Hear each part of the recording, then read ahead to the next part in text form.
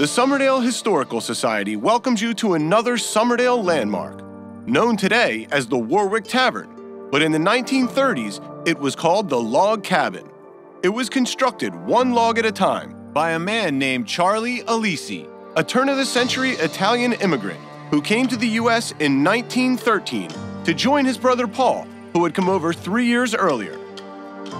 The brothers started out in South Philly at the corner of Mifflin and Camac. Paul opened a cleaner's and Charlie opened a shoe repair shop. Charlie and Paul married sisters, Elisabetta and Lillian Cavalcante. The families worked together to make their way in the new world.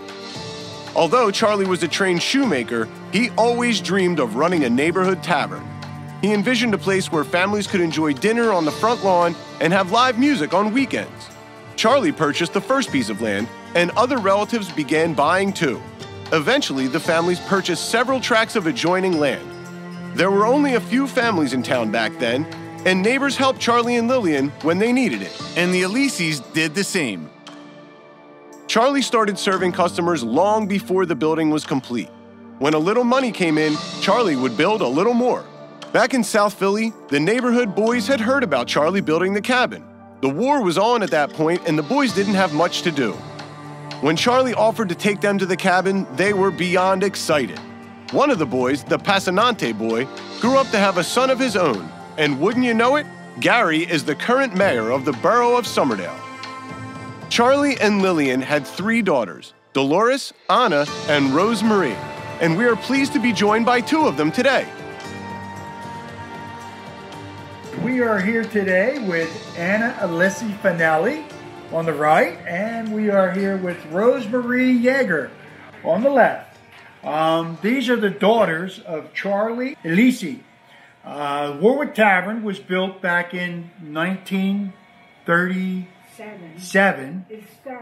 What was it like growing up as a little girl in the tavern? It was fun. it was. Well, in the backyard, my father had a pile of logs that he never used and we dug it out and made it into a ship. And we would get on the ship, five kids, and uh, pretend we were sailing the ocean. There's a big pole in the center of the dining room, and we used to, on bad weather, we would get our bikes and we would all ride around this pole.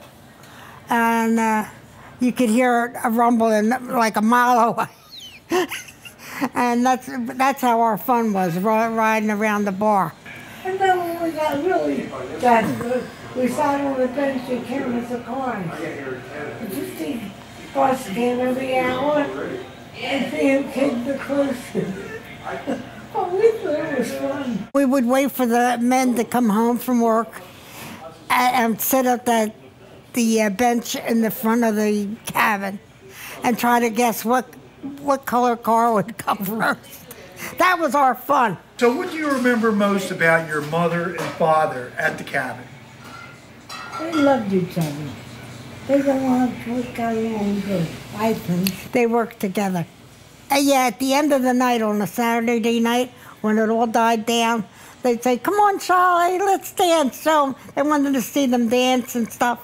And they would get, get up and dance and. Uh, my father, they would ask him to sing, and he couldn't sing, but he thought he could, and he sang, uh, Way Marie, Way Marie. Oh, yeah.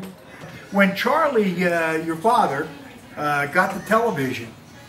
Oh, we had a crowd. We couldn't keep them out. And the TV was only about this big, but we were the first ones to have one. So on Friday night, he would have to get out there early and get it tuned in to uh, cavalcade of sports or whatever you call it for Joe Louis. And that's when the place got packed. They all wanted to see Joe Louis in the fights.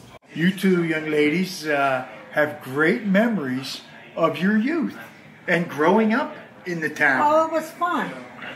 It was work, too, believe me. No, we didn't realize it was work. You look back and you forget.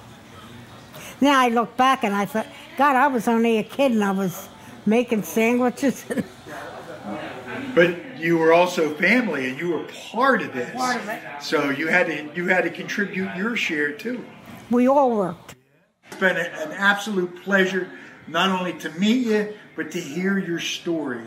Uh, because I think every story should be told. And uh, y- you girls have a great story because it's still evolving. It's still here. I'm so happy to uh, to to really do this interview today, and I'm so happy that you could both be here um, to tell your stories.